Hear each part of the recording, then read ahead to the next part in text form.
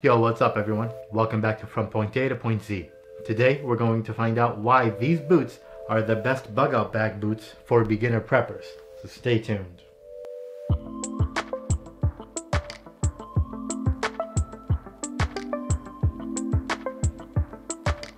Before I go into the review of the Keen Targhee 3 boots, I would like to ask my audience a question.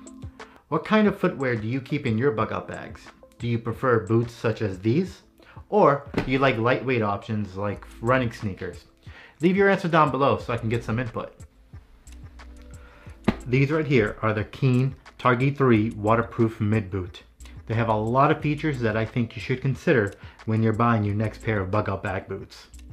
They feature a Metatomatic footbed design in which the insoles are engineered to for arch support. The boots have a breathable waterproof membrane that is patented as a KEEN.DRY. If you can see right there.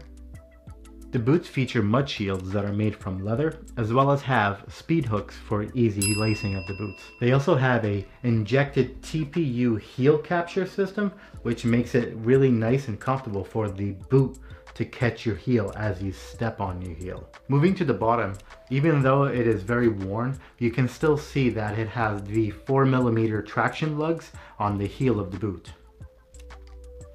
The Targhee 3 boots also have the Clean Sport NXT materials, which help with odor control. Nothing. To go a step further, Keen decided to use an environmentally friendly leather made from an LWG certified tannery. And the features don't even stop there. It also has a waterproof leather, it has a performance mesh that is breathable, a dual density midsole, as well as a removable footbed. Okay, let's go over the pros before the cons. These are my pros of why I think the Targhee 3 are the best bug out bag boots for beginner preppers. The first one I have is that it is 2.85 pounds. That's incredibly lightweight for a boot of this magnitude. The second pro I have is that it has very little break-in time. Another major pro for beginner preppers. The third pro I have is that the outer sole has amazing traction and could vary from different types of terrain. Everything from the trail to the urban setting or a kitchen setting. And even though it's fallen apart, the traction is still somewhat very good. Yeah, you can see how it's loose and falling apart. I have to say, that's a big thumbs up because the reason why it's like that is because of chemical exposure from my work. The next pro I have is that the boots have amazing ankle support with the help of the injected TPU heel capture system. TPU stands for thermoplastic polyurethane and it does a great job like funneling, I guess you want to say, your heel to a specific plot, uh, spot on the inner sole. Another awesome pro these boots have is that even though they are falling apart, they have cracks on the sides, on the on the mud shields and all that, they are still waterproof, and that's amazing after about two years of everyday use. And the pros don't stop there. I am going crazy.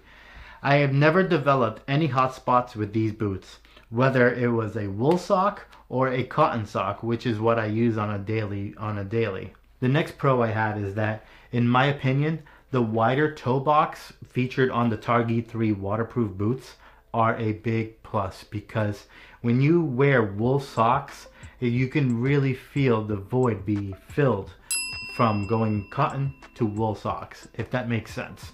But yeah, big thumbs up for that. The last pro I have here is that for beginners, these boots can be worn from an outside of preparedness mindset. For example, at a workplace or a family gathering. And to go even a step further, Keen sells low cut boots or low cut shoots, hiking shoes, so you can consider that as well. Okay, okay, the cons. I'm going to contradict myself here a bit, but even though I say the boots are having quick break-in time, the rubber outer sole doesn't, especially in an urban setting. That's why I recommend purchasing these boots uh, during the dry season so you don't have to worry about slippery surfaces. The second major con I have for these boots is that, in my opinion, they shouldn't be used for extreme work. For example, like for park rangers or police force, don't even consider these because they just will fall apart too quickly. But for the casual hiker or through hiker, they might be a better consideration. If you're going to hike with 40 plus pounds on your back, I don't think these boots will work very well for you. I think that you should go with the, the six inch um, heel support. And even then, the lightweight construction of these boots might not support the heavy backpack that you have. The third major con I have with these boots are that the inner soles do not last at all. I want to say in approximately six months after purchasing these boots, I already had to uh, purchase the Dr. Scholl's insoles that you can get at any pharmacy. Uh, kind of disappointed on that, but it's not a big deal. You, you, I can still use those uh, Dr. Scholl's you know, like supports in other boots I have in the future. So that's not a real big con, but it's there. The fourth con I have with these boots is that they do not have any thermal capabilities. So forget using these in the winter.